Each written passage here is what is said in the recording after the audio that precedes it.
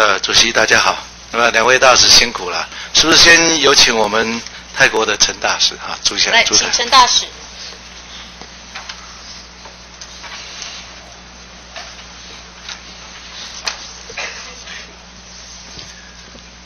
那执早哈，杨委员长，你你是什么时候回来的？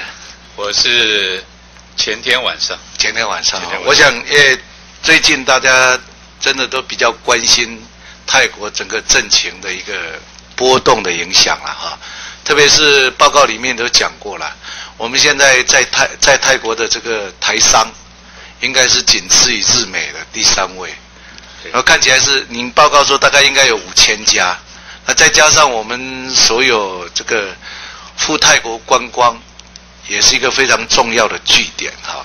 在这里，我想请教陈大师说，呃，这两天那个泰国的这个政情啊，这个示威啊，好像是前天是因为泰王的生日有所缓解。那么你本身对这个整个未来的变化，你自己有什么看法？谢谢杨委员。首先跟委员报告，太皇的生日是今天，是所以也就在十二月五号之前，两边总是有大动作，但是不至于产生特别大的影响。那现在主要是看军方的立场，所以军方在尽量协调双方啊，已经谈过两次，但是呢，并没有具体的结果。所以以大使的研判呢，他他是往好的方向，或者是比较不好的方向在走。我个人判断，我是认为说，泰国的政府它形成两条平行线，是一个可见的未来。但是泰国的人民啊，和善，而且他是最主要，泰皇是最高的无上的，是一个也是不但是这个精神领袖，也是全民所拥戴的。我想到最后，以过往来看，泰国并没有发生太严重的流血事变，好、所以目前为止，我我们做泰国代表处会密切观察。所以听起来大使的意思说，可能到最后还是会比较用比较和平的方式去落幕，只是过程会有一个一个彼此必须要有妥协，但是我也跟委员报告，我们期待。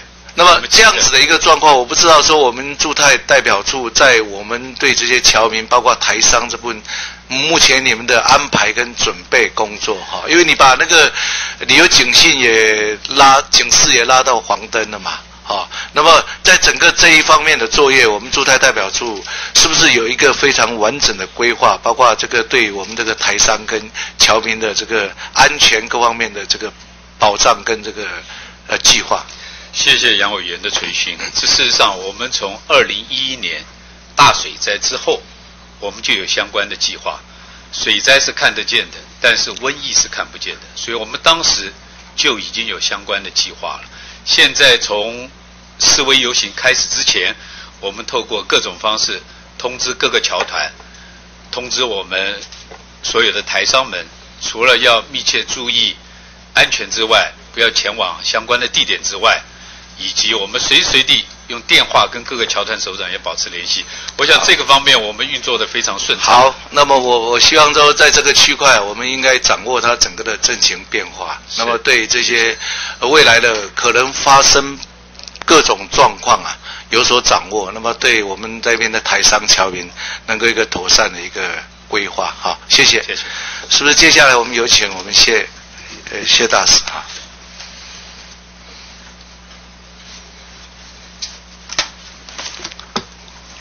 呃，杨委员好，大师早，大师辛苦了哈。很难。我看今年很大的工程在你这边呐、啊，十一月七号的这个 STEP，其实、呃、看起来会变成我们呃在贸易发展上啊一个非常重要的一个一个关键呐、啊，也就是我们进入这个东南亚这边的一个等于一个一个滩头堡哈、不过在我看到你的整个报告，其实已经、呃、直击到我们。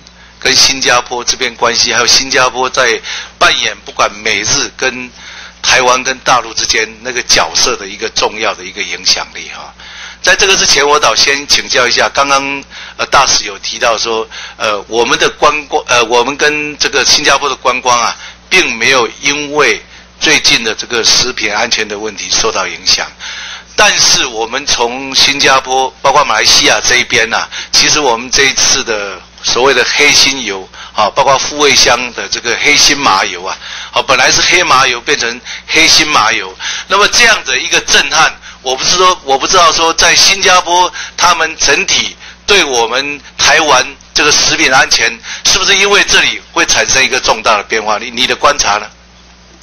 我们非常密切这个食安事件对于新加坡消费者的影响，因为刚刚跟委员报告，新加坡跟我们的民间的往来关系非常的密切，那么它的呃使用的习惯，对台湾美食的向往啊，都是比其他国国家还要深厚，因此呢，食品的安全是非常重要的一个。这一次，这一次整个事件。对他们来讲，你个人觉得说，在对我们进口台湾的食品部分，会不会对他们产生一种呃一个很不良的一个效果？我用举一个例子来讲哈，我们最近还派台北市政府也参加了他们的这个亚太食品展。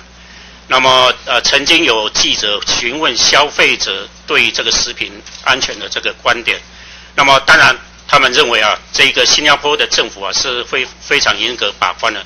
所以他们相信所有到新加坡的台湾食品都是安全的，也因此从这个观点来看，事实上的影响我们也非常的担心。但是从数字来看，似乎呃冲击不是很大，不是那么明显。那么，比如说又举一个最最近的一个例子啊，他们有一个叫做 Fair Price 的这一个大型的这个呃通呃这个呃超商，那么也举办了台湾美食展，就在食品。石油安全问题发生后几天举办的这个展览，我我想也有点担心，但是我们也问他，销售的状况只微微降百分之四。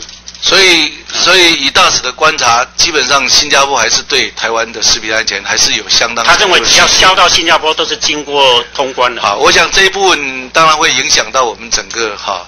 呃，在他们国家的一个形象，这一点有必要注意。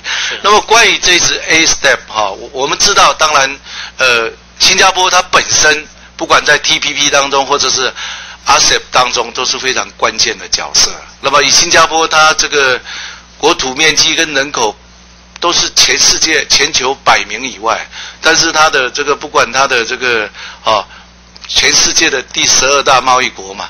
那么外汇存底也那么高，我想在东协更不要讲了，它本来就是东协十国里面，不管投资的金额或者是贸易额都是最大的，所以我们可以想象哈，那个它在这个东盟之间呢，东协之间扮演角色的重要性。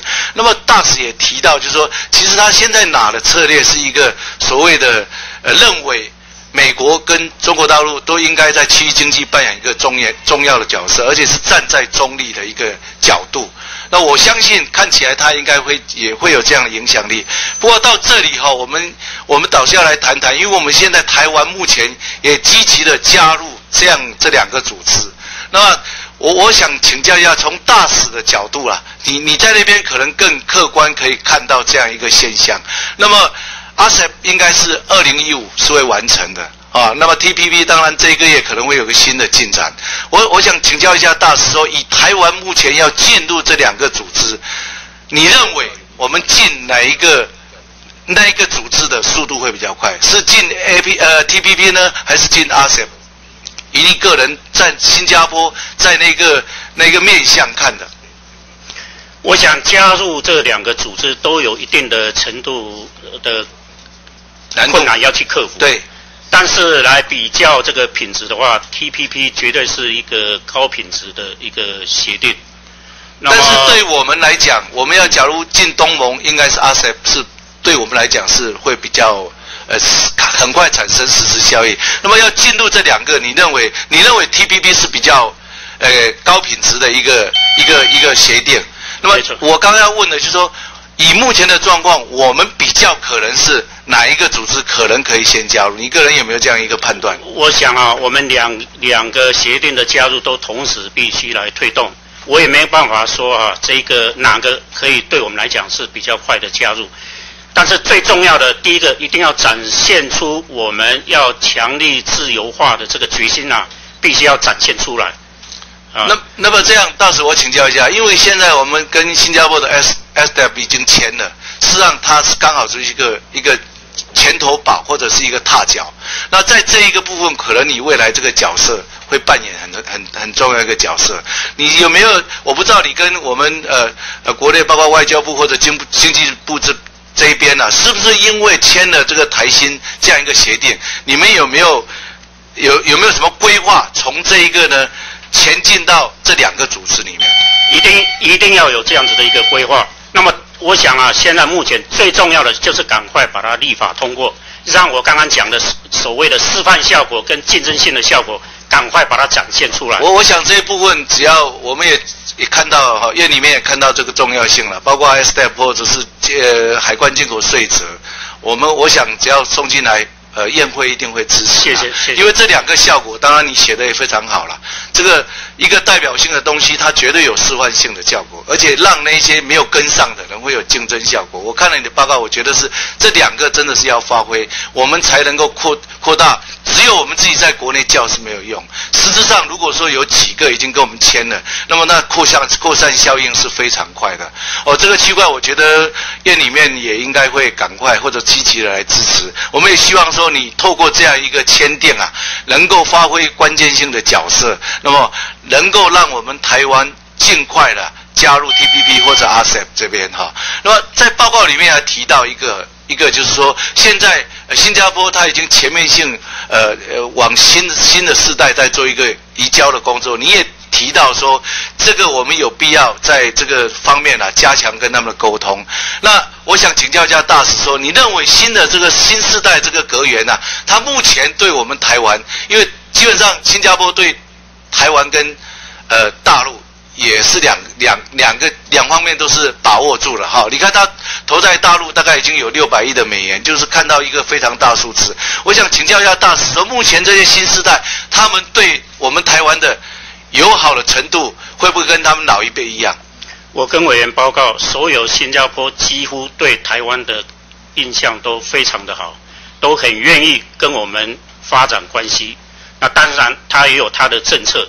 所以呢，我们在了解它的政策之下，还是有很多的空间来拓展这样关系。这些新的阁员，我个人都，我觉得这个计划真，我们也是要特别去加强了哈。因为新的世代出来，那么是不是跟台湾我们未来的发展能够做一些密切的、更友好的一个交往？那么呃，能够产生一些实质实质上的，透过新加坡跟这据点，然后走入东南亚。或者是走入这个世界，我想这一点也请大使特别注意。好，谢谢，嗯，好，谢谢。